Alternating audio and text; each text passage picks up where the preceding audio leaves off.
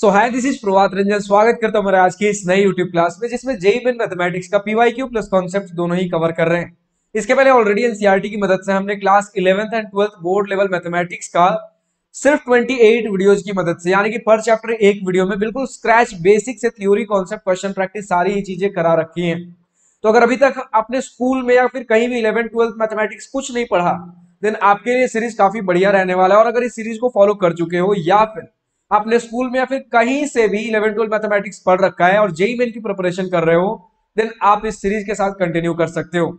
इस सीरीज़ में ऑलरेडी हमने तीन चैप्टर्स कवर कर लिया है quadratic equation sequence studies determinants and fundamental of mathematics आज हम चौथा चैप्टर में फिनिश करेंगे। हर चैप्टर में on an average 30 question PYQ के फॉर्म में हम देख रहे हैं, जिसमें हर एक 30 क्वेश्चन को 10-10 क्वेश्चन के तीन पार्ट्स में ब्रेक करें, जैसे मैट्रिसेज में हमारे पास 31 क्वेश्चन है। पहले पार्ट में हमने क्वेश्चन नंबर वन से टेन तक किया दूसरे में ट्वेंटी तक किया और आज के इस फाइनल लास्ट वीडियो में ट्वेंटी से फाइनली थर्टी तक खत्म कर देंगे। अब ये क्वेश्चन कर कहाँ से रहे तो हमारे पास कंपटीशन नाम का बुक आता है, मोहित त्यागी सर एंड उनकी टीम की तरफ़ से, जिसमें ऑन एन एवरेज पर चैप्टर 30 पीवाईक्यू क्वेश्चंस देखने को मिल जाते हैं। इस 30 क्वेश्चन में आपके उस चैप्टर के सभी कॉन्सेप्ट्स कवर करा दिए जाते हैं और एक कॉन्सेप्ट के ऊपर कम से कम बार क्वेश्चन रिपीट किया जाता है। तो पढ़ाने के पॉइंट ऑफ़ व्यू से बुक काफ़ी बढ़िया है, ताकि हम कम से कम क्वेश्चंस में लगभग सारे कॉन्सेप्ट्स कवर कर पाए और जो स्टूडेंट्स एग्ज़ाम से कुछ दिनों पहले क्वेश्चन प्रैक्टिस के थ्रू रिवीजन करना चाहते हैं कि हर कॉन्सेप्ट से कम से कम एक क्वेश्चन तो प्रैक्टिस कर ही लो देन आपके लिए ये बुक काफ़ी बढ़िया रहने वाला तो अगर ये बुक परचेस करना देन इस बुक का अमेजोन लिंक नीचे डिस्क्रिप्शन में दिया गया है।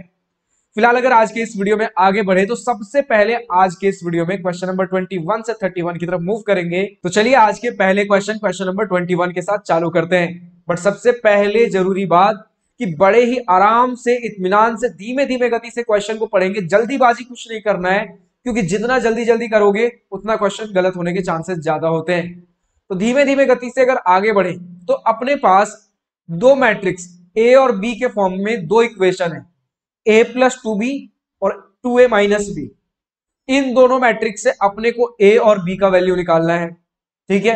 फिर इसके बाद बोला गया है कि trace of A minus trace of B बताइए। अब ट्रेस क्या होता है? तो किसी भी मैट्रिक्स का डायगनल एलिमेंट्स जो होते हैं, उनका सम को हम ट्रेस कहते हैं। तो अपने पास दो वेरिएबल है ए और बी और दो इक्वेशन भी दिया गया है। एक इक्वेशन यहाँ, एक इक्वेशन यहाँ। तो दो इक्वेशन से दो वेरिएबल्स फाइंड कर लेंगे ए और बी ए और बी फाइंड करने के बाद दोनों का ट्रेस निकाल के माइनस कर देंगे। तो पहले तो मुझे दिख रहा है इन दोनों इक्वेशन को मैं क्या कर सकता हूँ? ये कर सकता हूँ क्या? A plus two B plus two times of two A minus B. देखो ध्यान से, A plus two B plus two times of two A minus B. अब यहाँ से देखो टू बी और ये टू माइनस बी। तो ये बी और ये कटेगा तो बचेगा A plus four A equals to five A. ठीक है? अब फाइव ए का वैल्यू निकालो, यानी कि इतना plus two times of this matrix मुझे करना है। अब देखो हर वैल्यू को मुझे प्लस करने की ज़रूरत नहीं, मुझे सिर्फ़ इन पोजीशंस पे जो वैल्यू आएँगे सिर्फ़ इनकी ज़रूरत है, क्योंकि मुझे सिर्फ़ डायगनल एलिमेंट्स चाहिए। ट्रेस निकालने के लिए सिर्फ़ डायगनल एलिमेंट्स की ज़रूरत होती है तो सिर्फ़ इन प्लेसेस पे देखूँगा। देखो one plus two into two ठीक है? टू टाइम्स ये वाला मैट्रिक्स है ना तो टू इंटू टू तो ये हो जाएगा पाँच। ठीक है? देन यहाँ minus three minus three plus minus one into two ये हो जाएगा अपने पास माइनस फाइव यहाँ इन प्लेसेस को मैं छोड़ रहा हूँ। अब इस प्लेस पे देखता हूँ क्या आएगा अपने पास। One plus two into two, यहाँ भी आ गया अपने पास फाइव। अब फाइव ए का वैल्यू इतना है तो ए का वैल्यू अगर मैं लिखूं तो फाइव से डिवाइड कर दूँगा। यहाँ भी फाइव से डिवाइड करूँ तो अपने पास आ जाएगा one minus one one. One minus one one. ये अपने पास डायगनल एलिमेंट्स आ गए ए के। अब यहाँ से अगर मैं बी का भी डायगनल एलिमेंट्स मुझे सिर्फ़ निकालना है, ठीक है? अभी आप ध्यान से देखो, अगर मैं इसमें ए का वैल्यू पुट करूँ तो आप एक तरीके से ये कह सकते हो क्या? सभी को थोड़ा क्लियर करूँ। यहाँ से ए हटाओ आप। इधर माइनस ए कर दो, ठीक है? तो टू बी का वैल्यू सिर्फ़ डायगनल एलिमेंट्स देखना है। क्या करना है? दिस माइनस ए का जो वैल्यू आया तो पहले यहाँ डायगनल एलिमेंट पे क्या आएगा? वन माइनस ये वन तो ये हो गया ज़ीरो। ये बीच वाले डायगोनल एलिमेंट पे क्या आएगा? Minus three minus three, minus minus one. ठीक है, माइनस कर रहे हैं ना? ये वाला मैट्रिक्स जो उधर दिया गया है माइनस ए कर रहे हैं। तो ये उस मैट्रिक्स से वैल्यू माइनस ये अपना ये वैल्यू है। तो ये हो गया अपने पास minus to.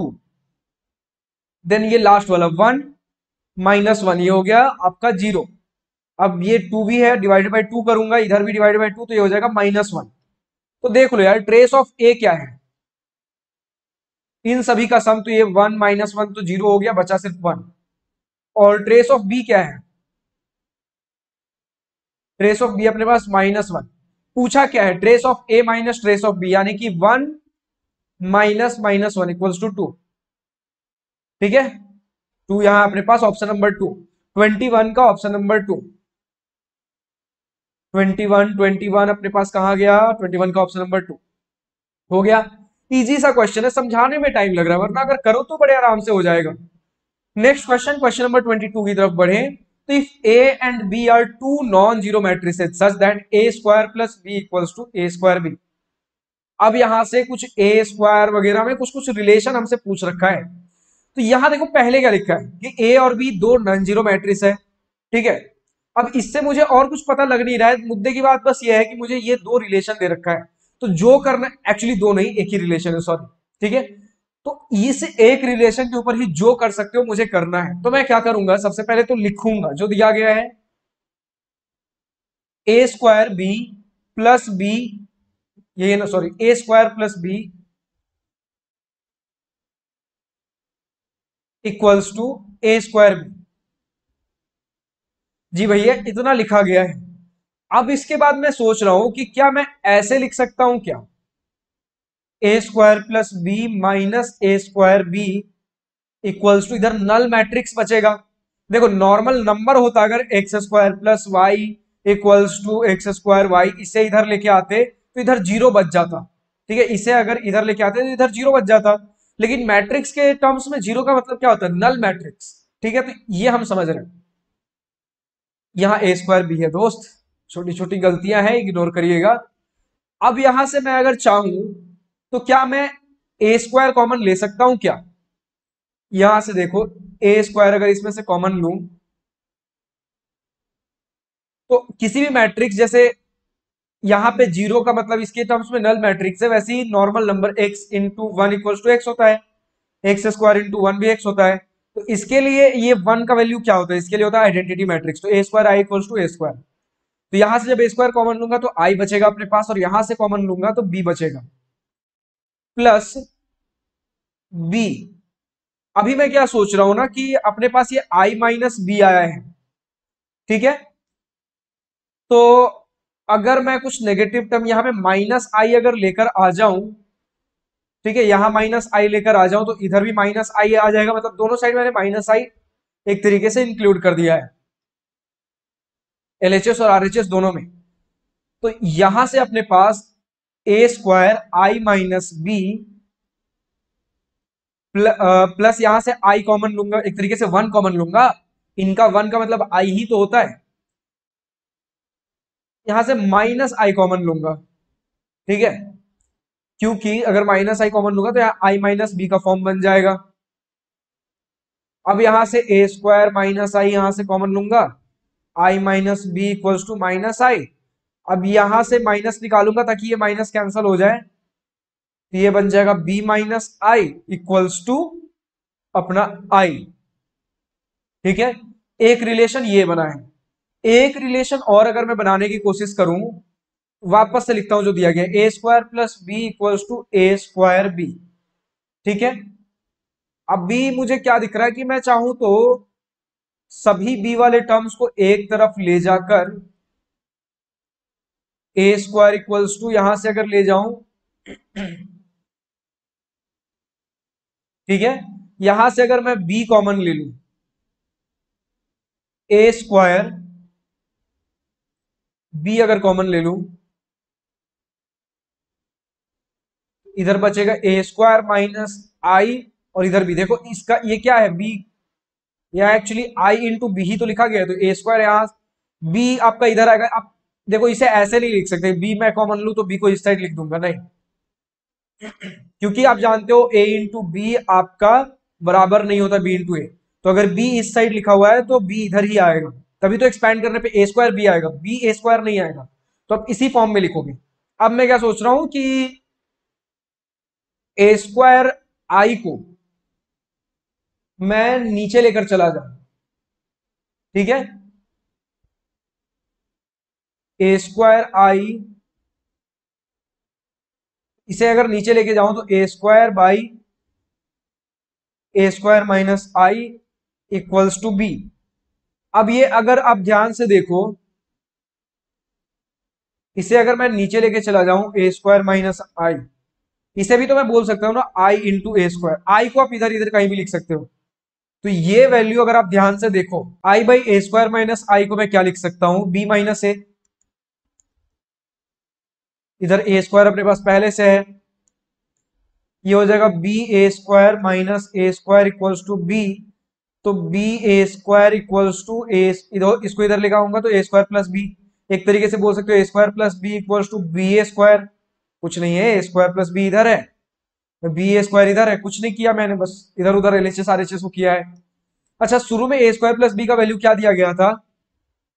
A square B तो आप ध्यान से देखो B A square equals to A square B आया क्या?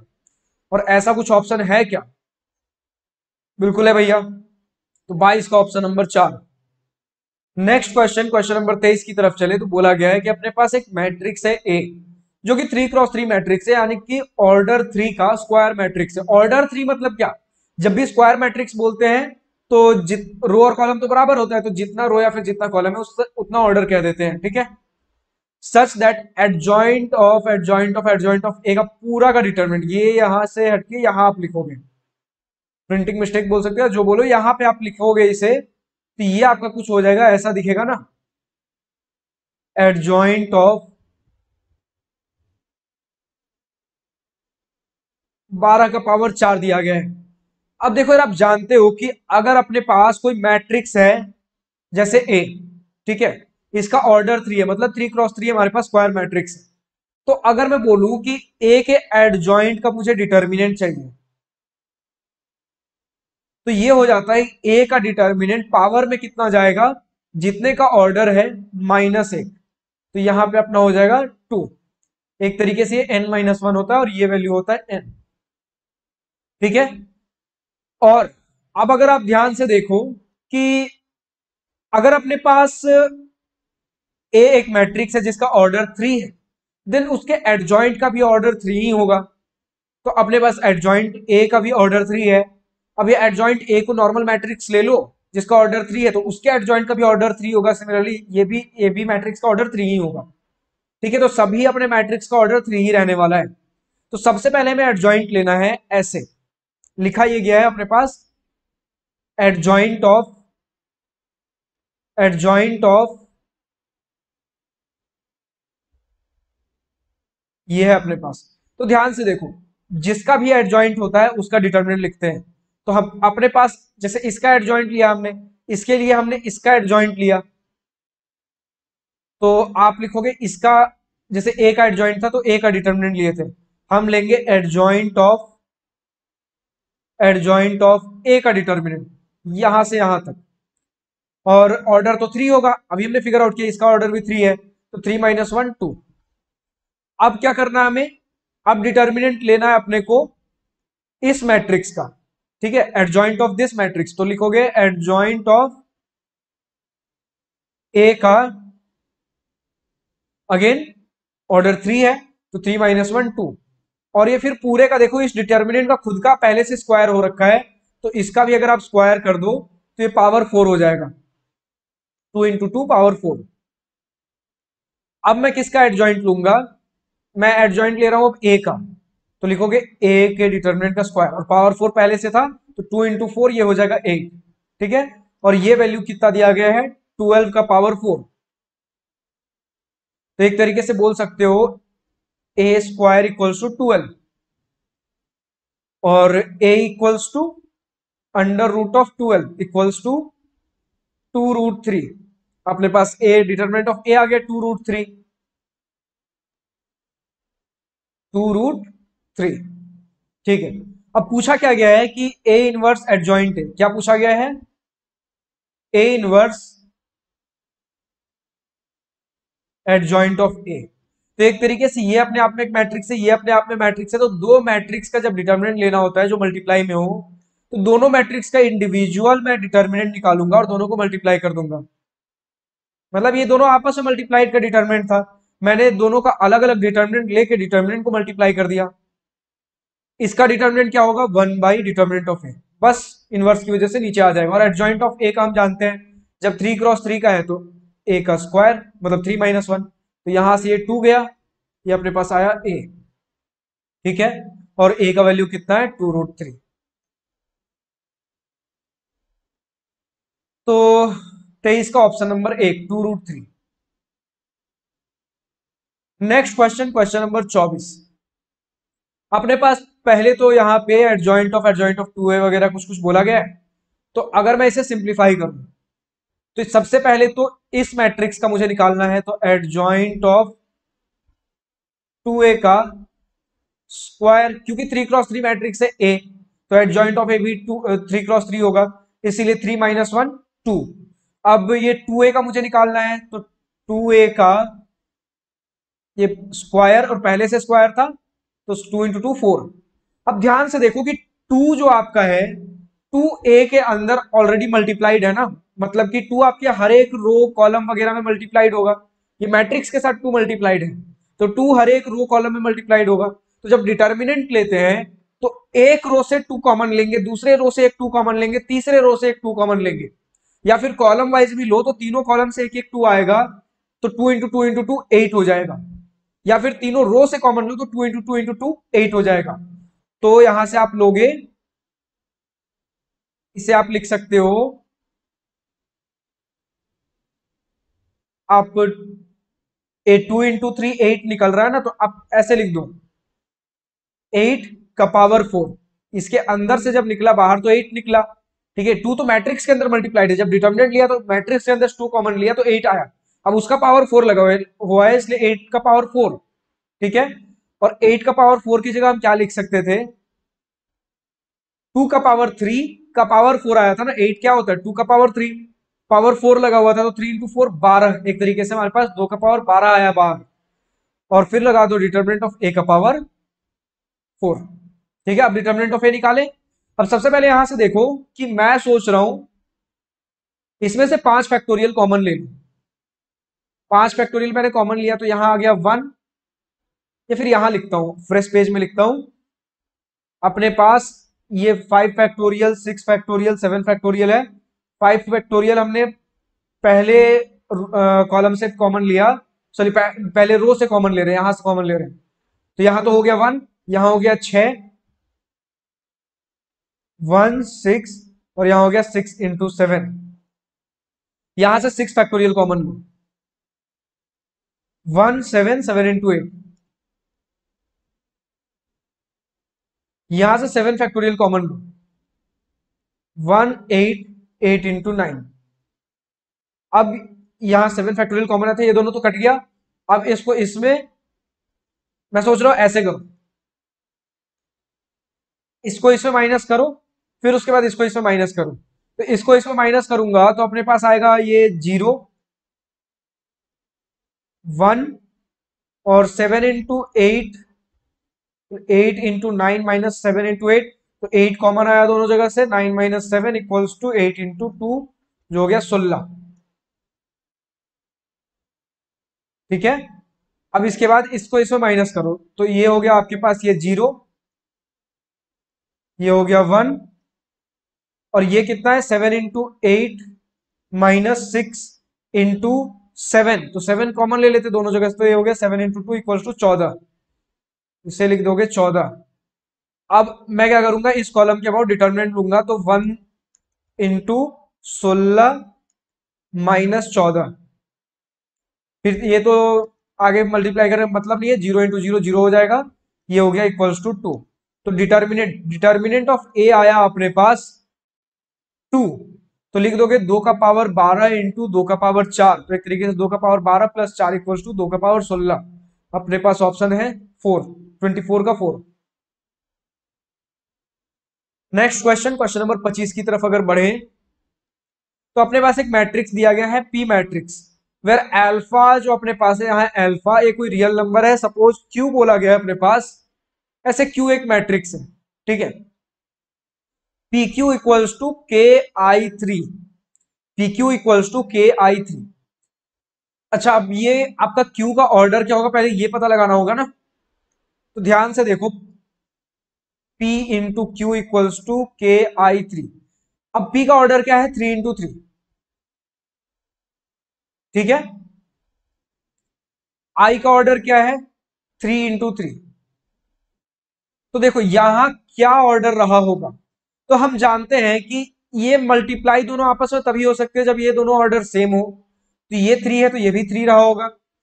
और आपका इसका जो ऑर्डर होता है, ये थ्री आता है यहाँ से और ये थ्री आता है इसके यहाँ से। तो ये थ्री है, ये भी थ्री तो क्यू का भी ऑर्डर आप बोलोगे थ्री इंटू थ्री ठीक है? अब पी क्यू इक्वल्स टू के आई थ्री दिया गया है। तो आप लिखो अब।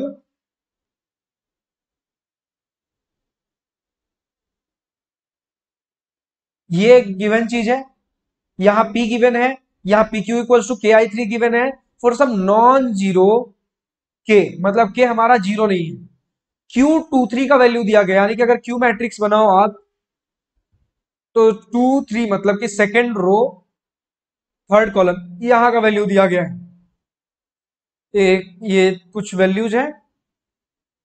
यहाँ पर आएगा कहीं आपका Q two three Q two three का वैल्यू माइनस के बाई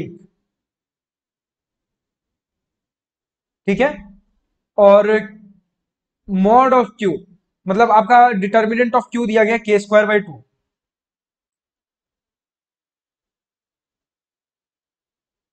ये कुछ चीज़ें गिवन है और alpha square plus K square का वैल्यू पूछ रहा है। तो मैं सबसे पहले यहाँ क्या देख रहा हूँ कि अगर मैं इसका डिटर्मिनेंट ले लू, ठीक है तो मॉड ऑफ़ ऐसे देख लो, दोनों साइड अगर मैं डिटर्मिनेंट डाल दू ऐसे, ये हो जाएगा। तो इसको सेपरेट कर दूँगा, ऐसे।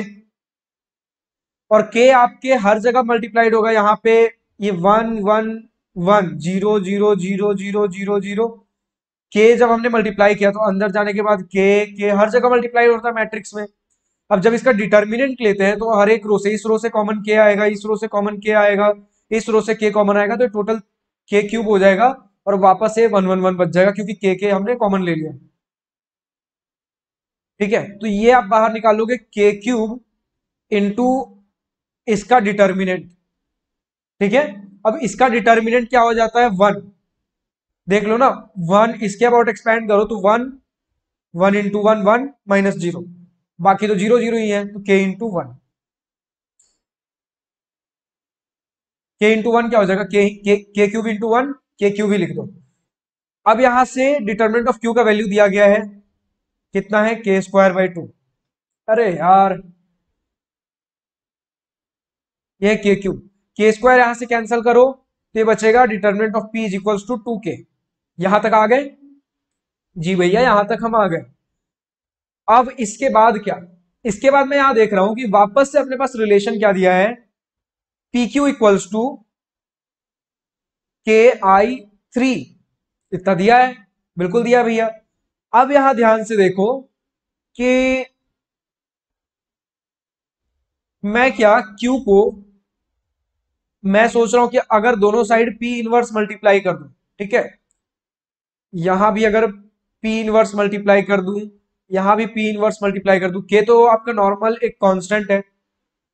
के को आप साइड में लिख लो पी इनवर्स आई थ्री ये तो आपका आई बन जाएगा और आई इंटू क्यू हो जाएगा। क्यू जानते हैं इनवर्स किसी भी मैट्रिक्स को उसके इनवर्स से मल्टीप्लाई करो तो आई बनता है, ठीक है? आई बनेगा और I into Q normal Q रहेगा। Equals to K P inverse I three I three तो नॉर्मल हमारा आई वन के बराबर होता है। नॉर्मल नंबर जैसे वन होता है वन को किसी से भी मल्टीप्लाई करो, वो खुद ही होगा। जैसे टू इंटू वन टू होता है, वैसे आई थ्री को किसी आई को किसी से भी मल्टीप्लाई कर दो, खुद ही वही रहेगा। तो पहले यहाँ कुछ मैट्रिक्स नहीं था। ये के एक नॉर्मल कॉन्स्टेंट था, इसलिए आई थ्री लिख रहे थे। अब यहाँ मैट्रिक्स आ गया तो आई थ्री लिखने का मतलब नहीं बनता। जैसे माइनस थ्री है, ठीक है? तो थ्री जब तक है, मुझे यहाँ पे इंटू वन करने की ज़रूरत नहीं है। लेकिन अगर थ्री हटा दो तो इस माइनस के साथ वन लगाना पड़ता है। तो ये मेरे कहने का मतलब था। अब K P inverse P inverse का फॉर्मूला क्या होगा भैया? तो हम जानते किसी भी, ये हो जाता अपना adjoint of P by determinant of P ठीक है भैया? तो K into adjoint of P और डिटर्मिनेंट ऑफ़ पी क्या है अपने पास? टू के से के गया बचा है joint of P by two तो अपने पास एक और फंड ये सबसे पहले इन सभी चीज़ों का तो कुछ कुछ यूज़ हुआ है, लेकिन इसका यूज़ नहीं हुआ। तो मुझे क्यू टू थ्री का वैल्यू चाहिए। ठीक है? मुझे चाहिए इस पोजीशन का वैल्यू अब क्यू बेसिकली है क्या? Adjoint of P Q अगर आप ऐसे मान लो, यहाँ यहाँ यहाँ कुछ कुछ वैल्यू है, मुझे ये वैल्यू चाहिए। मुझे चाहिए ये वैल्यू ये एट ज्वाइंट ऑफ़ पी भी अपने आप में एक मैट्रिक्स होगा। हम्म? ये आपका एडजॉइंट ऑफ़ मुझे बेसिकली क्या चाहिए? एडजॉइंट ऑफ़ पी वाला ये मैट्रिक्स है मेरा। तो ये एडजॉइंट ऑफ़ इसका क्यू टू थ्री मतलब इसका ये वैल्यू बाई टू मुझे ये चाहिए। इस टू को अगर अंदर लेकर जाओगे, मुझे ये वैल्यू चाहिए तो मुझे क्यू टू थ्री का वैल्यू मिल जाएगा। ठीक है भैया? तो ये वैल्यू मुझे कैसे मिलेगा? ये क्या है? पहले तो ये सर्कल निकाल लो, फिर बाद में टू से डिवाइड करते रहेंगे। टू को फ़िलहाल अभी हम बाहर ही लिखते हैं। तो मुझे यहाँ से क्या चाहिए? Adjoint of P two three. ठीक है? अब एडजॉइंट क्या होता है? एडजॉइंट होता है आपका जैसे पी का एडजॉइंट मतलब देखो, एडजॉइंट कैसे निकालते हैं? सबसे पहले जैसे पी का एडजॉइंट मुझे निकालना है तो पी के सभी नंबर्स का, सभी एलिमेंट्स का मैं माइनर निकालूँगा, फिर उस माइनर का को फैक्टर निकालूँगा, ठीक है? उस को फैक्टर का ट्रांसपोज लूँगा। तो वो ट्रांसपोज वाला मैट्रिक्स ही मेरा ये एडजॉइंट होता है। तो ये बेसिकली ट्रांसपोज किया गया है। तो ट्रांसपोज से वापस मैं अगर को फैक्टर पे जाऊँ तो ट्रांसपोज मतलब क्या होता है? रो और कॉलम्स इंटरचेंज हो चुके हैं। रो और कॉलम्स इंटरचेंज हो चुके हैं। तो ट्रांसपोज करने से पहले ये टू थ्री की जगह थ्री टू रहा होगा। मतलब मुझे को फैक्टर थ्री टू चाहिए। ये ट्रांसपोज लेने के बाद यही को फैक्टर एडजॉइंट में कन्वर्ट हो जाता है। तो को फैक्टर जो मेरा थ्री टू रहा होगा, इसी का ट्रांसपोज लेने के बाद वो एडजॉइंट ऑफ़ रो और कॉलम इंटरचेंज हो गया टू थ्री बन गया होगा। तो मुझे बेसिकली ये चाहिए, जिसे मैं टू से डिवाइड कर दूँगा तो मुझे क्यू टू थ्री मिल जाएगा। समझ रहे हो अभी तक? नहीं समझे? देखो, मैं ये बोल रहा हूँ कि अपने को क्यू क्यू टू थ्री का वैल्यू पूछा है। मतलब कुछ कुछ दिया गया है माइनस के बाई एट के फॉर्म में तो क्यू टू थ्री का वैल्यू निकाल लेता हूँ। अब, Q equals to adjoint of P by two है तो Q equals to adjoint of P by two two तो कांस्टेंट है, उसको थोड़ी देर के लिए साइड में रखो। तो जो क्यू टू थ्री होगा, वही adjoint of P two three ये लोकेशन होता है टू थ्री का। जो क्यू टू थ्री होगा, वही adjoint of P two three होगा, बस उसको टू से डिवाइड कर देंगे। तो मुझे चाहिए adjoint of P two three अब एडजॉइंट क्या होता है? एडजॉइंट ऑफ़ पी क्या होगा? पी मैट्रिक्स के को फैक्टर का ट्रांसपोज और ट्रांसपोज क्या होता है? रो और कॉलम्स इंटरचेंज होते हैं। तो अपना को फैक्टर थ्री टू रहा होगा।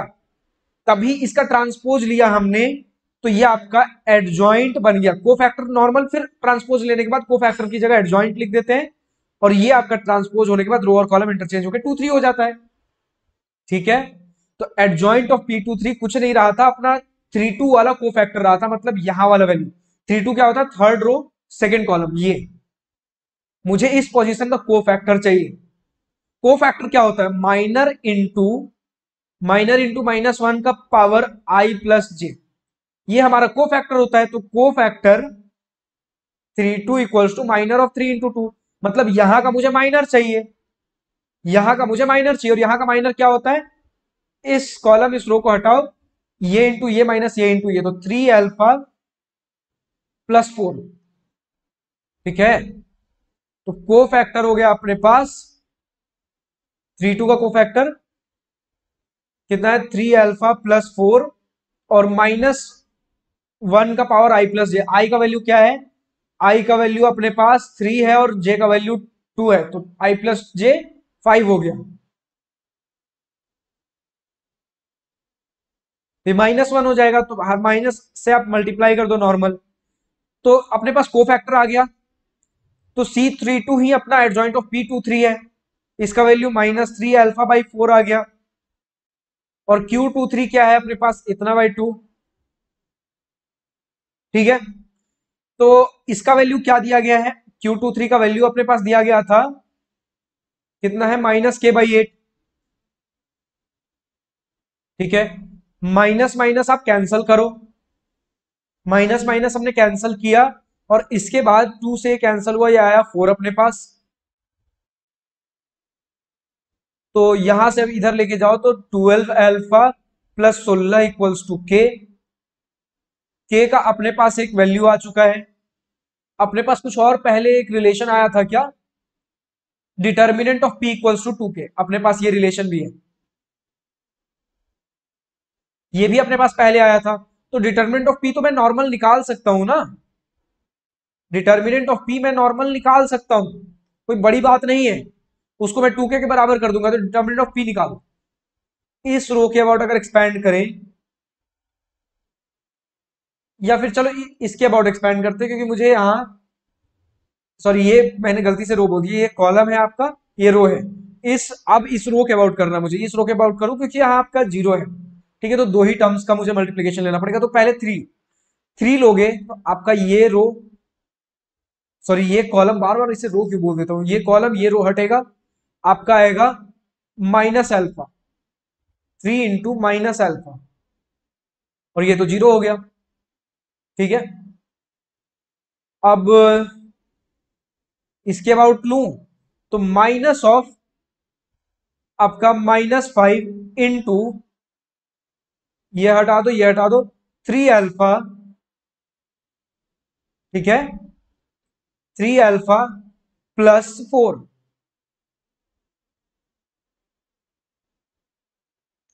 चलो यहाँ तक हो गया। इसे मैं क्या लिखूँगा? Minus three alpha. ये माइनस माइनस ये हो गया प्लस। आप इसे प्लस फाइव लिख दो। तो ये प्लस फिफ्टीन अल्फ़ा प्लस बीस इक्वल्स टू ये हो गया बारह अल्फ़ा प्लस बीस। ठीक है? टू के का कितना हो गया? बारह अल्फ़ा प्लस बीस। तो K equals to six alpha plus दस।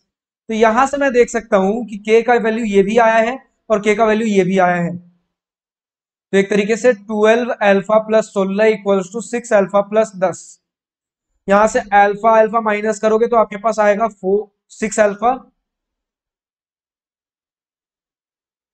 equals to minus six तो alpha equals to minus one ठीक है? Alpha equals to minus one आया अपने पास। तो के का वैल्यू कैसे निकालूँगा? एल्फा का वैल्यू अगर माइनस वन आया है तो के इक्वल्स टू ये हो जाएगा माइनस सिक्स प्लस दस इक्वल्स टू फोर अब पूछा क्या है अपने से? Alpha square plus K square यानी कि माइनस वन का स्क्वायर प्लस फोर का square equals to one plus सोलह इक्वल्स टू सत्रह. इसका आंसर लिख दो सत्रह. पच्चीस का आंसर सत्रह. पाँच क्वेश्चन हो गया है, छह क्वेश्चन और बचा है. हमारा चैप्टर खत्म होने वाला है. क्वेश्चन नंबर छब्बीस. अपने पास एक मैट्रिक्स दिया गया है, ये matrix where X Y Z are real numbers X Y Z अपने पास रियल नंबर्स है such that X plus Y plus Z is greater than zero मतलब X plus Y plus Z एक पॉजिटिव नंबर है. ठीक है भैया? अभी यहाँ से मुझे और क्या दिख रहा है? कि एक्स वाई जेड का वैल्यू आपका टू दिया गया है ए स्क्वायर का वैल्यू आपका आई थ्री दिया गया है. ठीक है? ए स्क्वायर का वैल्यू आपका आई थ्री दिया गया है। देन द वैल्यू ऑफ़ आपका X cube plus Y cube plus Z cube का वैल्यू पूछा है। जी भैया तो एक तरीके से आप ध्यान से देखो तो ए स्क्वायर को अगर आई थ्री लिखना हो आपको ए स्क्वायर को कैसे लिखोगे? X Y Z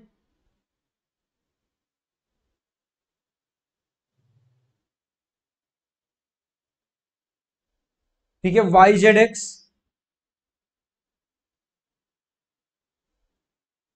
Z X Y वापस इसी टर्म को लिखना है। X Y Z Y Z X और अपने पास जेड एक्स वाई ये वैल्यू कितना दिया गया? अपने पास आई थ्री के बराबर दिया गया है। आई थ्री मतलब one one one zero zero zero zero zero zero ये गिवन था, ये मैंने लिख लिया। ठीक है? तो सबसे पहले ए गिवन था और ये अपने पास एक रिलेशन गिवन है तो इस, अभी तक मैंने कुछ नहीं किया है। देखो, अभी मैं ये भी नहीं सोच रहा हूँ क्या निकालना है, क्या करना पहले जो गिवन है, मैं उसे लिख रहा हूँ। तो ये गिवन था, इसे मैंने एक्सपैंड कर दिया ए स्क्वायर को ए इंटू ए के फॉर्म में लिख दिया और ये आई गिवन है। इतना मैंने लिख दिया। अब यहाँ से आपका X cube plus Y cube plus Z cube पूछा है तो ये कहीं से मैं लाने की कोशिश करूँगा। और इस रिलेशन को, इस कंडीशन को यूज़ करूँगा और एक्स वाई जेड का वैल्यू कहीं पुट कर दूँगा अगर बनता है तो। तो ध्यान से, कुछ भी नहीं है। क्वेश्चन देखने में कॉम्प्लेक्स लग रहा होगा। सबसे पहले A square equal to I three मैंने इसको एक्सपैंड करके लिख दिया क्योंकि इसके अलावा मुझे और कुछ पहले स्टेप पे करते हुए नहीं दिख रहा। तो मैंने इसे एक्सपैंड कर दिया। ठीक है? और कुछ, आप बोलो और कुछ कर सकते हो। नहीं कर सकते और कुछ। इसे मैंने एक्सपैंड किया। अब एक्सपैंड करने के बाद और तो कुछ अपने पास है नहीं।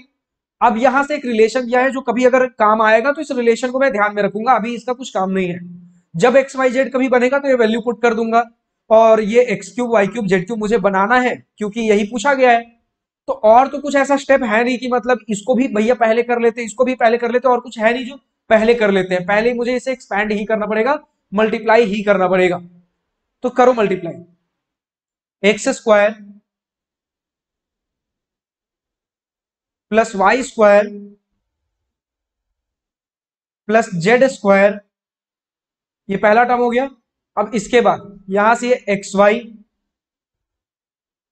Y Z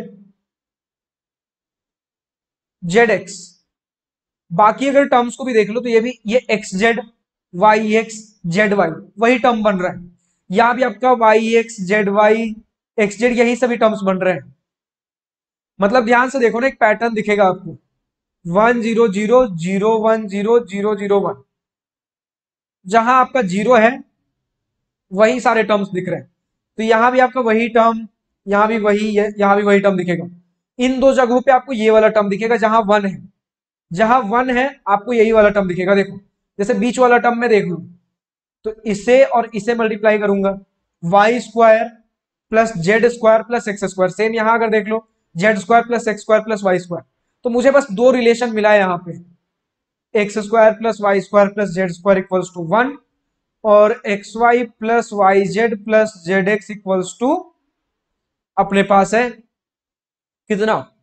ज़ीरो अच्छा ये रिलेशन जानते हो क्या? X plus Y plus Z का whole square equals to X square plus Y square plus Z square plus two times of X Y plus Y Z plus Z X बिल्कुल भैया, ये तो normal A plus B plus C का whole square का formula है।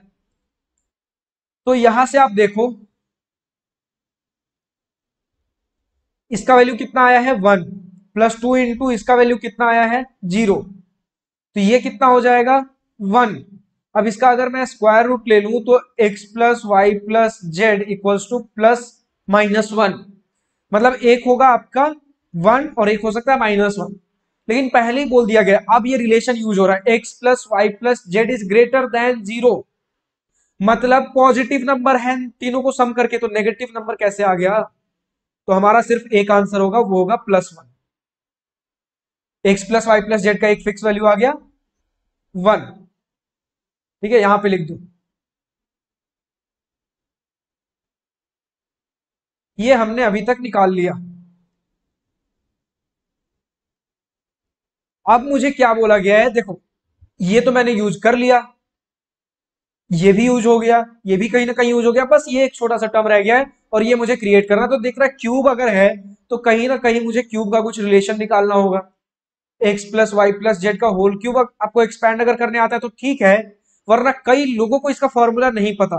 But एक formula जो हम अक्सर जेईमेन के क्वेश्चन सॉल्व करते हुए, फिर इलेवन ट्वेल्व मैथमेटिक्स को सॉल्व करते हुए बहुत अक्सर तो नहीं, लेकिन ये फॉर्मूला के झांसे में कभी ना कभी आए होंगे। X cube plus Y cube plus Z cube minus three X Y Z equals to X plus Y plus Z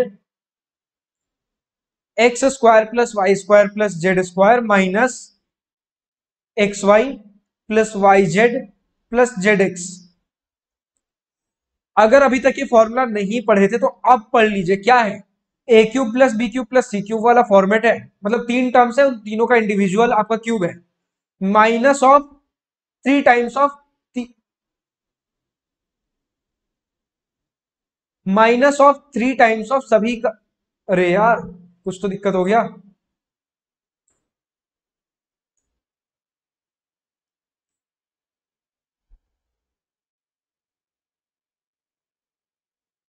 O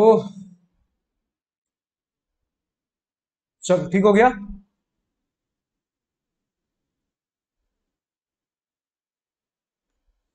video recording तो चालू है ना? वीडियो रिकॉर्डिंग चालू है। आगे बढ़ते हैं। Minus of three times of X Y Z तो एक तरीके से आपका A cube B cube C cube और फिर एबीसी मल्टीप्लाई इधर आपका A plus B plus C यहाँ एक आपका पैटर्न हो गया A square plus B square plus C square और यहाँ आपका दो दो टर्म्स का कॉम्बिनेशन में प्लस करके, यहाँ फाइनली माइनस अब देखो मुझसे ये पूछा गया है, ठीक है? X cube plus Y cube plus Z cube पूछा गया है। अब अपने पास एक्स वाई जेड का दिया गया वैल्यू टू तो माइनस थ्री इंटू टू हो जाएगा आपका six X plus Y plus Z का वैल्यू हम ऑलरेडी वन निकाल चुके थे ऊपर। ठीक है? X square plus Y square plus Z square भी हम ऑलरेडी आपका वन ही था ना अपना। जी, अपना ये भी वन है और ये भी वन है और ये वाला टर्म ज़ीरो है। तो ये तो वन लिख दिया हमने, यहाँ से ये वन हो गया माइनस ये ज़ीरो हो गया। तो X cube plus Y cube plus Z cube equals to यहाँ से तो आ गया वन माइनस सिक्स इधर जाके हो जाएगा plus six equals to seven तो आंसर हो गया अपना सात। ठीक है, छब्बीस का सात। नेक्स्ट क्वेश्चन क्वेश्चन नंबर सताइस अभी अपने पास दिया गया एक मैट्रिक्स है ए मैट्रिक्स जिसमें एक रिलेशन दिया गया I two plus A I two minus A का inverse equal to A B minus B A और thirteen A square plus B square का वैल्यू पूछा गया है. तो कायदे से बस गिवन चीज़ एक ही है, अपने पास रिलेशन एक ही है, इसी में कुछ छेड़छाड़ करना है. और आई टू अपने को पता है. अपना आइडेंटिटी मैट्रिक्स ऑर्डर टू का मतलब वन ज़ीरो ज़ीरो वन यहाँ से एक बार प्लस एक बार माइनस ए कर करके कुछ वैल्यू निकालना है। और उसके बाद अपना इसमें वैल्यू पुट कर करके अपना A square plus B square निकालना है। तो देखो, दिया क्या गया है? I two plus A I two minus A का inverse equals to A minus B B A ये पूछा गया है अब अगर आप ध्यान से देखो तो क्या अगर मैं इसका डिटर्मिनेंट लेना चाहूँ तो ले सकता हूँ? बिल्कुल ले सकते हैं भैया। क्यों नहीं ले सकते? बिल्कुल ले सकते हैं। अब अगर ध्यान से देखो ये अपने आप में एक मैट्रिक्स है मैट्रिक्स दो मैट्रिक्स का प्रोडक्ट है। क्योंकि ऐड करने के बाद भी तो एक मैट्रिक्स ही बनेगा। तो दो, दो मैट्रिक्स का प्रोडक्ट है। तो मैं इसे इंडिविजुअल मैट्रिक्स का डिटर्मिनेंट लेके उनका प्रोडक्ट भी कर सकता हूँ। आई टू प्लस ए और आई टू माइनस ए का इनवर्स का डिटर्मिनेंट इन दोनों मैट्रिक्स का इंडिविजुअल डिटर्मिनेंट लेके उन दोनों को मल्टीप्लाई कर दिया और इसका डिटर्मिनेंट क्या हो जाएगा? A square minus minus B square मतलब प्लस बी स्क्वायर ठीक है? अभी, ये ऐसे है ना? जानता हूँ, जब भी ये इनवर्स में रहता है तो इसे आप नीचे लिख सकते हो, इस तरीके से डिवाइड करके. आई टू माइनस ए का डिटर्मिनेंट ये इनवर्स हटता है तो नीचे आ जाता है। तो हम इसे ऐसे लिख सकते हैं। बिल्कुल भैया, ऐसे हम लिख सकते हैं।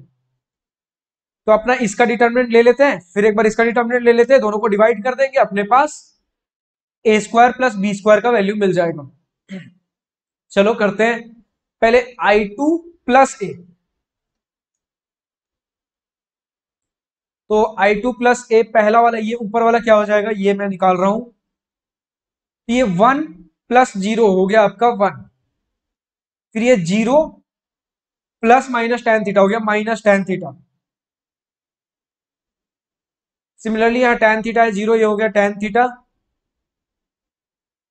बाई टू और यहाँ से ये ज़ीरो प्लस वन हो गया वन इसका डिटर्मिनेंट लेना चाहूँ तो ये बन जाएगा one plus tan square theta by two ठीक है?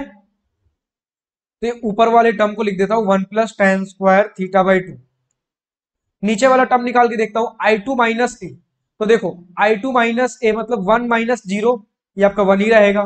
फिर आपका zero minus minus tan theta ये आपका प्लस टेन थीटा बन जाएगा। देन आपका zero minus tan theta by two ये minus tan theta by two हो जाएगा। And one minus zero one रह जाएगा। इसका डिटर्मिनेंट लो तो वन इंटू वन ये अभी हम इसका ले रहे हैं, नीचे वाले का।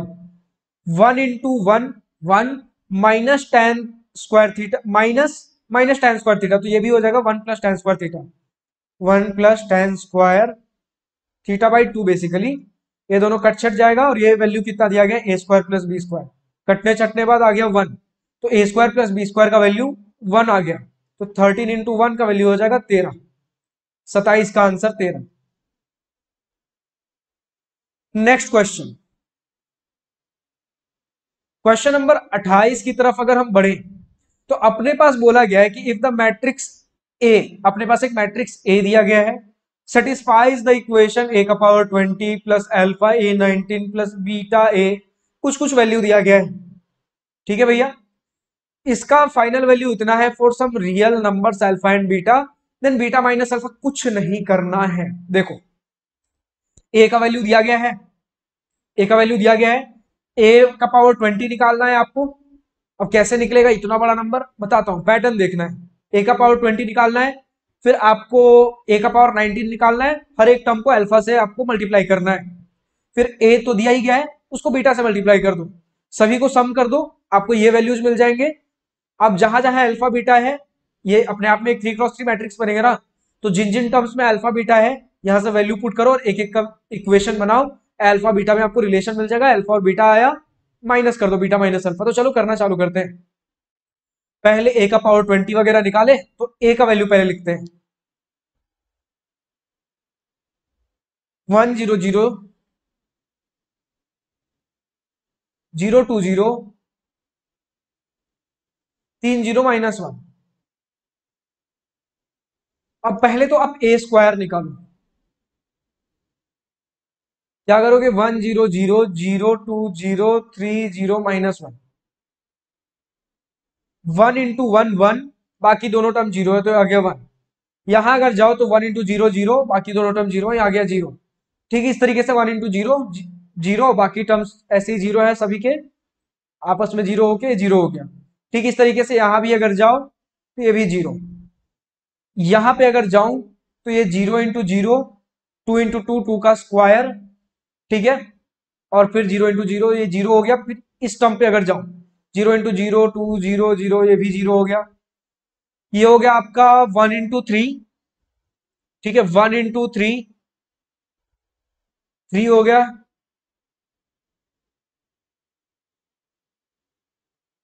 एक second. One into three three ठीक है? फिर उसके बाद आपका आएगा zero into zero zero three लिखो ज़ीरो फिर ये माइनस थ्री तो ये भी अपने आप में ज़ीरो हो गया।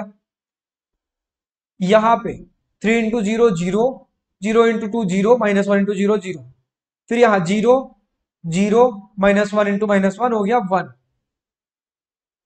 ठीक है? अब ए क्यूब अगर मुझे निकालना हो तो मैं ए स्क्वायर इंटू ए करूँगा। तो ये ए स्क्वायर ये है one zero zero zero two square zero zero zero one और यहाँ से अगर मैं मल्टीप्लाई करूँ तो ए को, ये है A one zero zero zero two zero तीन ज़ीरो माइनस वन अब यहाँ से मैं अगर देखने की कोशिश करूँ तो वन इंटू वन वन बाकी टर्म्स ज़ीरो बाकी वही पैटर्न यहाँ ज़ीरो ज़ीरो ज़ीरो क्रिएट होगा। यहाँ से इसको मल्टीप्लाई करो zero into zero two square हो गया टू क्यूब यहाँ अगेन ज़ीरो आपका ज़ीरो इंटू ज़ीरो ये ज़ीरो ये थ्री हो गया।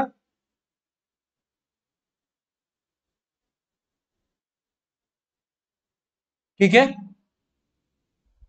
ठीक है थ्री हो गया अपना। अब इसके बाद यहाँ पे आपका टर्म वापस से वही आ गया जी ज़ीरो वगैरह मल्टीप्लाई कर करके ज़ीरो, यहाँ ज़ीरो, ये माइनस वन तो एक तरीके से आप अगर देखो तो अपने पास जो पैटर्न बन रहा है ना, ध्यान से देखो ए क्या है? One zero zero zero two का पावर ए का पावर अगर एन लो तो टू का पावर एन है. ठीक है? और यहाँ आपका आएगा ज़ीरो यहाँ पर आप ऑड और इवन केस लेके चलना। इसके बारे में बताता हूँ, यहाँ ज़ीरो और यहाँ आ जाएगा आपके पास माइनस वन का पावर भी एन यहाँ अगर आपका एन का वैल्यू ऑड है तो आएगा थ्री एन अगर अपने पास इवन है तो आएगा आपके पास ज़ीरो ठीक है तो अब ध्यान से देखो, ये अपने पास ए है ये है ए स्क्वायर देख लो, सभी जगह, कहाँ कहाँ फंडा लगा है? टू का पावर एन टू का पावर वन टू का पावर टू टू का पावर थ्री माइनस वन का power N minus one one minus one फिर यहाँ ऑर्डर इवन होते हुए थ्री और zero three zero three pattern मिल गया? अब लगाओ इसी पैटर्न पे अपना ए का पावर बीस निकालो। ए का पावर अगर बीस निकालते हो ये तो वन का वन रह जाएगा, बाकी ये ज़ीरो ज़ीरो ज़ीरो। यहाँ से आप टू का पावर बीस लिखोगे, ज़ीरो।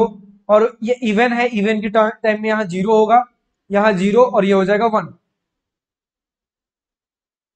प्लस एल्फा ए का पावर उन्नीस। ठीक है? तो एल्फा भी मल्टीप्लाई करना है तो यहाँ alpha zero zero zero. Alpha into दो का पावर उन्नीस ज़ीरो। अब की बार ऑड है तो ये हो जाएगा थ्री ज़ीरो और एल्फा इंटू माइनस वन का पावर उन्नीस तो यानी कि minus alpha plus beta A ये तो काफ़ी सिंपल है। नॉर्मल आप अपने ए में बीटा तो ये beta zero zero zero two beta फिर आपका आ जाएगा ज़ीरो। ये आ जाएगा आपका थ्री बीटा अच्छा यहाँ थ्री अल्फ़ा भी तो होगा ना अल्फ़ा से भी हम मल्टीप्लाई कर रहे हैं। थ्री बीटा और ये आपका ज़ीरो और ये माइनस वन ही रहेगा क्योंकि ऑड है, अपना ए का पावर वन ऑड है तो माइनस बीटा इसका वैल्यू कितना दिया गया है? One zero zero one zero zero zero four zero zero zero one तो मुझे क्या क्या रिलेशन मिल रहा है? एक तो रिलेशन मिल रहा है कि one plus alpha plus beta equals to one तो ये वन से वन गया मतलब alpha plus beta equals to zero तो alpha equals to minus beta एक रिलेशन मुझे ये मिल गया। एक रिलेशन यहाँ से मिल रहा है। दो का पावर बीस प्लस एल्फा दो का पावर उन्नीस plus two beta equals two plus two beta equals to four.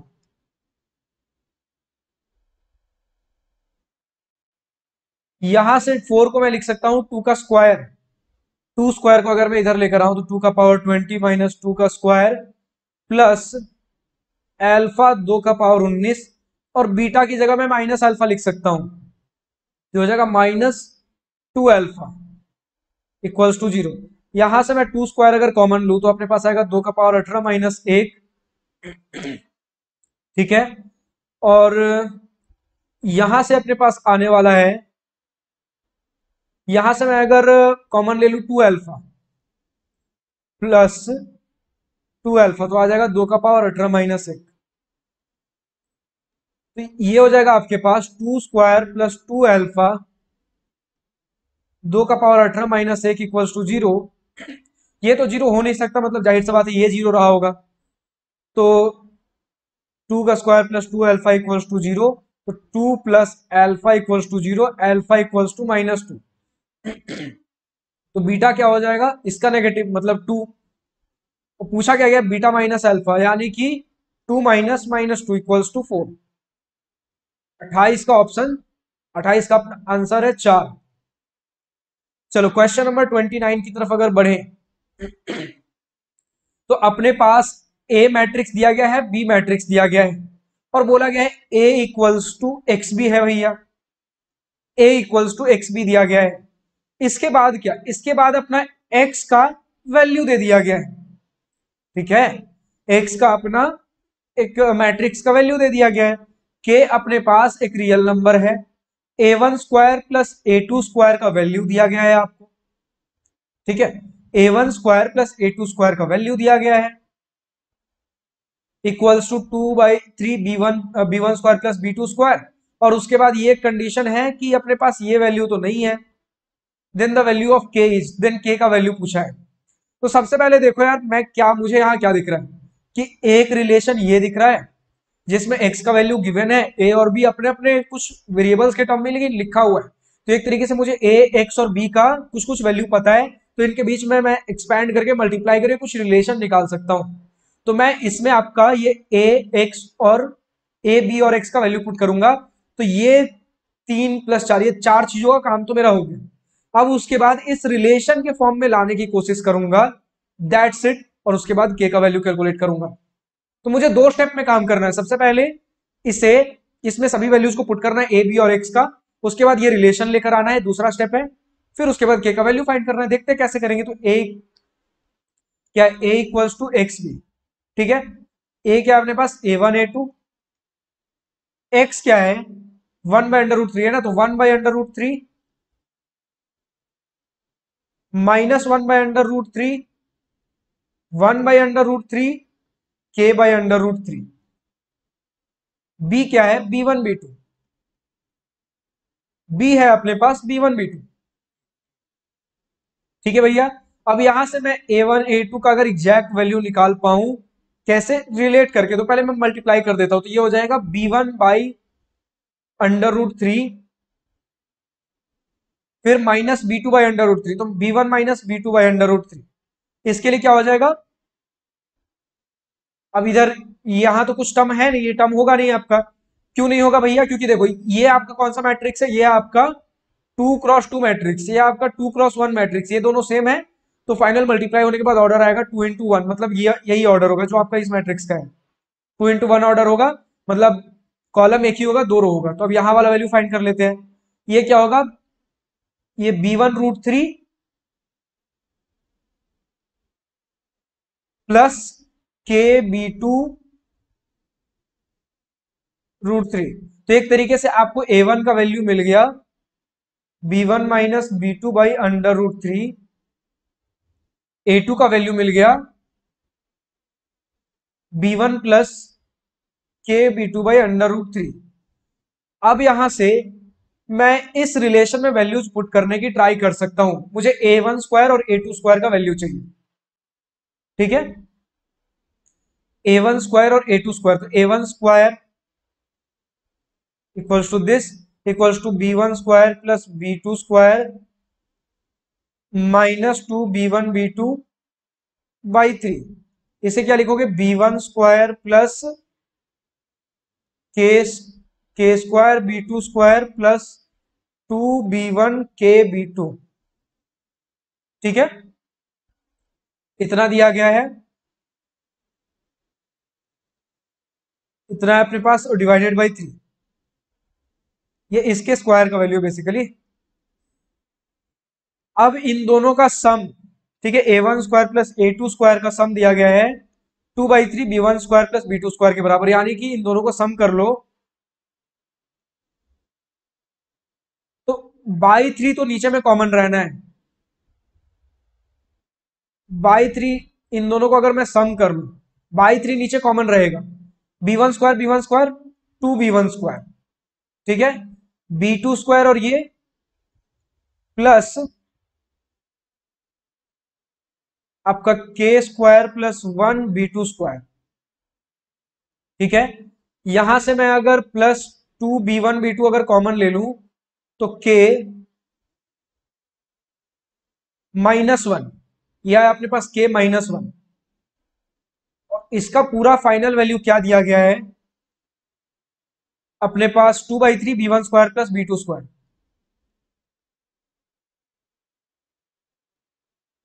तीन से तीन जाएगा? ये है ना, ये मैंने क्या लिखा है? ये दोनों जो आया था अपने पास टर्म इन दोनों का बस सभी तो किया है A one square plus A two square का सभी तो किया है। और ये A one square plus A two square का वैल्यू ऑलरेडी पहले से दिया हुआ है। तो इन दोनों को बस मैंने इक्वेट किया है।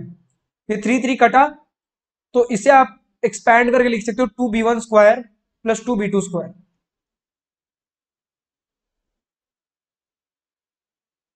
यहाँ से ये कट चुका था। अब ये two B one square two B one square इधर इधर से आप कैंसिल कर सकते हो, दोनों साइड से कट छट जाएगा। फाइनली बचा आपके पास टू बी टू स्क्वायर अब यहाँ से देखो कोइफिशियंट्स मैच करो। Two B one B two ये टर्म तो अपने पास है नहीं। ये टर्म में कितना इंटू ज़ीरो मल्टीप्लाई किया हुआ है। तो बी टू स्क्वायर का जो कोइफिशियंट है यहाँ पर k square plus one equals to two है, और यहाँ से to b one b two का कोइफिशियंट के माइनस वन इधर से है और इधर से ज़ीरो है। यहाँ से अगर वैल्यू निकालो तो के स्क्वायर इक्वल्स टू वन आएगा K equals to plus minus one यहाँ से अगर वैल्यू निकालो के इक्वल्स टू वन आएगा। तो दो कंडीशन है, एक जगह वन और माइनस वन भी आया, लेकिन यहाँ सिर्फ़ वन आया तो दोनों में से कॉमन वन लेंगे। आपका आंसर है वन उन्तीस का वन ट्वेंटी नाइन का ऑप्शन नंबर एक। ऑप्शन एक नहीं, आंसर एक। चलो क्वेश्चन नंबर थर्टी के ऊपर आए। तो हमारे पास एक काफ़ी ट्रिकी क्वेश्चन है। अगर आप ध्यान से पढ़ो, इस क्वेश्चन में क्या बोला है कि हमारे पास ए का वैल्यू मतलब ए का वैल्यू आपका ए बी सी डी कुछ दिया गया है। ठीक है मैट्रिक्स है। और बी अपना एल्फा बीटा है। अब बोला गया है A B equals to B ठीक है, ये एक रिलेशन दिया गया है। एक रिलेशन अपने पास ये भी है A plus D equals to दो हज़ार इक्कीस। Then A D minus B C पूछा गया है। अब ट्रिक यहाँ पर ये है, कई लोग बोलेंगे भैया कि A D minus B C तो अपने पास सिर्फ़ ए का डिटर्मिनेंट ही तो है। ध्यान से देखिए अगर अगर ए का डिटर्मिनेंट मुझे लेना हो तो क्या होगा? A D minus B C मतलब मुझे डिटर्मिनेंट ऑफ़ ए का वैल्यू पूछ रहा है। ठीक है? यहाँ तक तो आप सही हो। बिल्कुल आपको डिटर्मिनेंट ए का वैल्यू ही पूछ रहा है। लेकिन अब वो क्या करेंगे? भैया, ये रिलेशन दिया गया अगर मैं इसमें ऐसा कर दूँ कि A B equals to B दोनों साइड अगर डिटर्मिनेंट ले लू, अभी आप गलती कर रहे हो। क्या गलती कर रहे हो? मैं बताऊँगा। अगर मैं ऐसा कर दूँ तो गलती क्या होगा? पहले स्टूडेंट सोचेंगे, यहाँ तक सही है। इसे मैं लिख दूँगा, फिर दोनों को ब्रेक कर दूँगा। Determinant of A determinant of B equals to determinant of B अब ये दोनों तो नॉर्मल नंबर होते हैं ना अपने पास। नॉर्मल नंबर होते तो दोनों काट देंगे। ठीक है? क्योंकि नॉन ज़ीरो दिया भी गया है तो इन दोनों को काट देंगे। अब बचेगा determinant A equals to one तो determinant A equals to determinant A ही पूछा गया था तो फाइनल आंसर वन होगा। लेकिन यहीं पे आंसर की ऐसे दिख रहा है ध्यान से देखो 2020 है। भैया, गलत क्या किया हमने इसमें? मैं बताऊँगा आप गलती क्या कर रहे हो। देखो, सबसे पहली बात आप ये कर ही नहीं सकते। ये करने का मतलब क्या आप डिटर्मिनेंट ऑफ़ बी निकाल रहे हो? ठीक है, यहाँ भी आपने डिटर्मिनेंट ऑफ़ बी निकाला और इधर डिटर्मिनेंट बी तो आपने पहले ही निकाल लिया। पर कैसे निकालोगे? डिटर्मिनेंट सिर्फ़ हम एक स्क्वायर मैट्रिक्स का निकालते हैं। क्या अपने पास बी एक स्क्वायर मैट्रिक्स है? तो यही है आपका ट्रिक यहाँ पे। कई लोग सोचेंगे, बस भैया नॉर्मल डिटर्मिनेंट ही तो निकालना है, निकाल देंगे। बट यहाँ फंस जाओगे। ये डिटर्मिनेंट वाला क्वेश्चन ही नहीं है। मतलब ये नॉर्मल ऐसा सिंपल डिटर्मिनेंट वाला क्वेश्चन नहीं है। अभी आपका यूज़ यही रिलेशन होगा, लेकिन इस रिलेशन को हम डिटर्मिनेंट के फॉर्म में नहीं यूज़ करेंगे। हम क्या करेंगे? A B equals to B दिया गया है। तो इसे बी इंटू आई लिख सकते हैं। बिल्कुल लिख सकते हैं भैया। मैं चाहता हूँ इसे आई इंटू बी लिखूं। क्यों? कॉमन लेने में मुझे आसानी होगी। ठीक है, जब इधर A B equal A B minus I B लिखूँगा ना इधर नल मैट्रिक्स बचेगा। तो यहाँ मुझे बी कॉमन लेने में बड़ी आसानी होगी।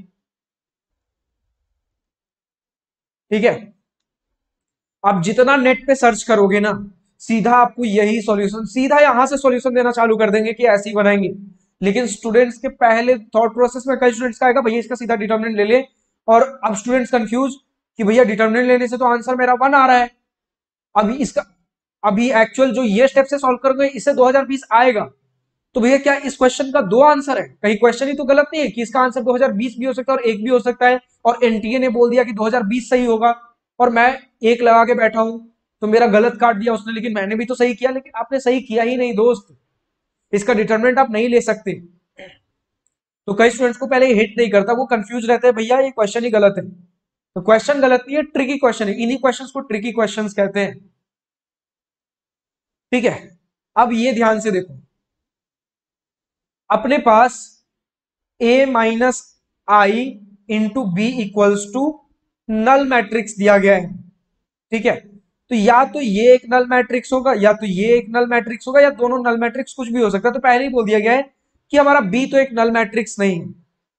बी अपने पास नल मैट्रिक्स नहीं है, यानी कि ए माइनस आई हमारे पास नल मैट्रिक्स है। ठीक है?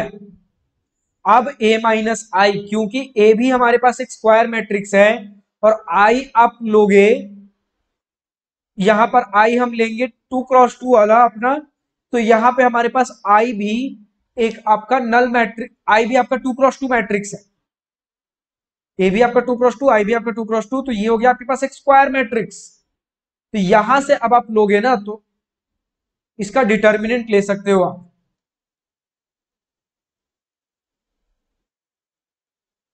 ए माइनस आई का डिटर्मिनेंट निकालो। ए माइनस आई का हो जाएगा ए माइनस वन देखो ना, क्या दिया गया है?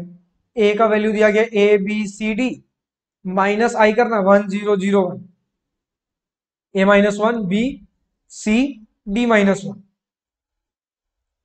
तो ये हो जाएगा अपने पास।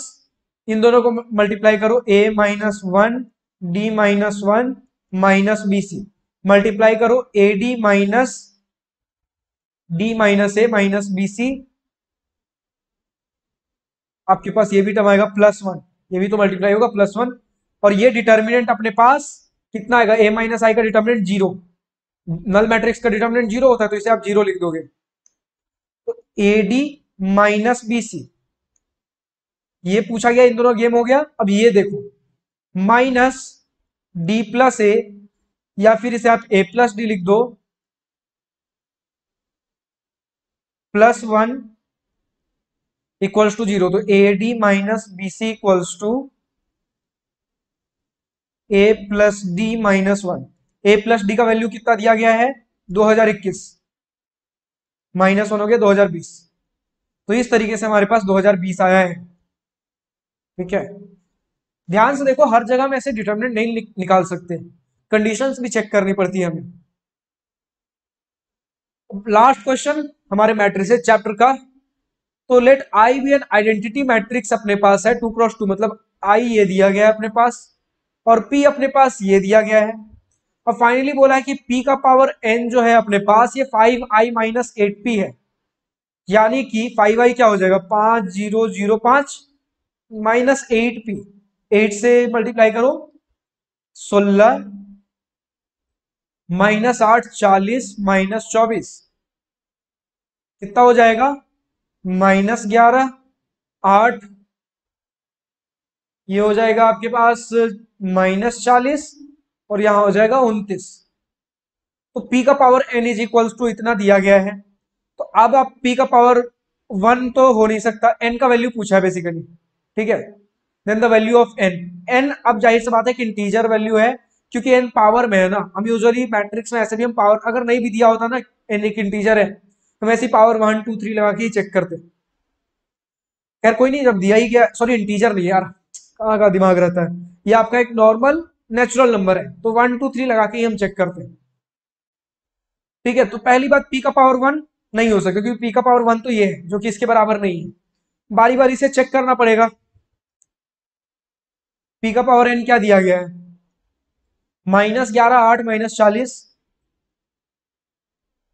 Twenty nine. पी का पावर वन है। दो माइनस एक, पाँच माइनस तीन। तो पी का स्क्वायर अगर मैं निकालने की कोशिश करूँ, दो माइनस एक, पाँच माइनस तीन। चार चार ये हो जाएगा माइनस वन। ठीक है ना? Two into two minus five, four minus five, minus one. यहाँ से जाओ तो माइनस टू प्लस थ्री हो जाएगा वन। माइनस टू, ठीक है, ये क्या है? Minus two plus three, one. फिर यहाँ से जाओ तो पाँच गुने दो, दस। माइनस पंद्रह, माइनस पाँच। फिर ये, यहाँ वाला टर्म क्या हो जाएगा? माइनस पाँच, और ये ठीक है माइनस पाँच प्लस नौ इक्वल्स टू फोर ये आ गया पी स्क्वायर अब पी का पावर फोर क्या होगा? क्योंकि देखो, ध्यान से धीरे धीरे हम इसकी तरफ़ अप्रोच कर रहे हैं। पी स्क्वायर तो हो गया। पी थ्री अभी भी काफ़ी बड़ा नंबर लग रहा है। हमारे पास ये पी एन काफ़ी बड़ा है पी स्क्वायर से तो पी थ्री होने के चांसेस कम है। तो सीधा पी फोर मतलब P square into P square करके देखते हैं, अभी भी आता है कि नहीं। तो minus one one minus five four one minus five four minus one into minus one होता है अपने पास वन और ये माइनस फाइव हो गया माइनस फोर ठीक है? अब इसके बाद माइनस वन इंटू वन हो गया minus one one into four हो गया फोर इक्वल्स टू थ्री, ये हो गया three. Minus five into minus five हो गया पाँच, और ये हो गया माइनस बीस, हो गया अपने पास माइनस पंद्रह। यहाँ से जाओ तो माइनस फाइव प्लस सोलह, ये हो जाएगा आपके पास ग्यारह। यही है ना? माइनस पाँच प्लस सोलह हो गया ग्यारह। पी का पावर फोर पी का पावर फाइव भी इतनी जल्दी नहीं लग रहा है, लेकिन पी का पावर सिक्स अगर निकाल के देखें मतलब इतना जल्दी अचानक से माइनस चार से माइनस ग्यारह तो नहीं पहुँच जाएगा माइनस पंद्रह से माइनस चालीस, लेकिन ज़्यादा भी आगे नहीं बढ़ेंगे पी का पावर सिक्स निकाल के देखते हैं, यानी कि पी का पावर फोर इंटू पी का पावर टू तो पी का पावर फोर क्या माइनस फोर थ्री माइनस पंद्रह, ग्यारह, और पी का पावर टू क्या है? माइनस एक एक माइनस पाँच, चार. माइनस चार गुने माइनस एक हो जाएगा अपने पास चार, और तीन माइनस पंद्रह हो जाएगा माइनस पंद्रह हो गया माइनस ग्यारह. अब मुझे थोड़ा सा शॉर्ट शॉर्ट लगने लगा है कि ये अब आपका बन रहा माइनस ग्यारह माइनस ग्यारह, पहला टर्म मैच कर गया। दूसरा टर्म देखते हैं माइनस चार गुने एक माइनस चार, और तीन गुने चार प्लस बारह, ये हो गया आठ। दूसरा टर्म भी मैच कर गया। माइनस पंद्रह माइनस वन हो गया पंद्रह। ठीक है, ये हो गया आपका पंद्रह, और यहाँ से ग्यारह माइनस पाँच इक्वल टू माइनस पचपन हो गया माइनस चालीस। ये भी मैच कर गया। माइनस पंद्रह और यहाँ से प्लस फोर्टी फोर। ठीक है? ये हो गया आपका ट्वेंटी नाइन। तो हमारा एक्चुअली ये दोनों मैच कर गया। मतलब पी का power N equals to P का पावर सिक्स तो N equals to six thirty one का ऑप्शन नंबर सिक्स ऑप्शन नहीं यार, बार बार ऑप्शन बोल रहे हो। आंसर सिक्स तो इसी के साथ हमारा मैट्रिसेज चैप्टर भी खत्म होता है। अब हमारा चार चैप्टर खत्म हो चुका है। कौन कौन सा चैप्टर खत्म हो चुका है भैया? Quadratic equation sequence and series determinants and FOM fundamental of mathematics और मैट्रिसेज अगला चैप्टर हमारा परम्यूटेशन एंड कॉम्बिनेशन का होगा। चार चैप्टर हमने खत्म कर लिया। है टोटल आप अगर देखो तो हमारे पास तीस चैप्टर कवर कर दे। पहले आप चैप्टर वन से टेन का लिस्ट देख लो। देख लिया? इसी सीक्वेंस में जा रहे फिर इलेवन से ट्वेंटी तक का। देन ट्वेंटी वन से थर्टी तक का आप देख सकते हो। इसी सीक्वेंस में जा रहे हैं। आप बस क्वेश्चन प्रैक्टिस करते रहिए और अगर थ्योरी वगैरह में भूल रहे हो तो पर चैप्टर एक वीडियो बिल्कुल स्क्रैच से, बारीकी से आपका चैप्टर का मतलब क्या है, वहाँ से लेकर आपका end to end board level पे जितने आपके एनसीआरटी के, आपके एग्ज़ाम्पल क्वेश्चन सब कुछ प्रैक्टिस मैंने करा रखा है, सिर्फ़ एक वीडियो में पर चैप्टर कुछ वीडियो डेढ़ घंटे, दो घंटे का भी मिलेगा। तो रेयरली कुछ चैप्टर्स ढाई तीन घंटे के आसपास भी गए हैं बट इतने में सब कुछ हो जाएगा आपका। बेसिक्स छोड़ो बोर्ड्स लेवल पे सब कुछ हो जाएगा। उसके बाद अगर थ्योरी अगर नहीं हो रहा है तो उन सीरीज़ को जाकर चेकआउट करिए। फिर हमारा एनसीआरटी बोर्ड सीरीज़ है, और उसके बाद आप इस जेईमेल के साथ कंटिन्यू कर सकते हो। फ़िलहाल आज की इस वीडियो में इतना ही। Thank you for watching this video good bye next day wish all the best for future enjoy journey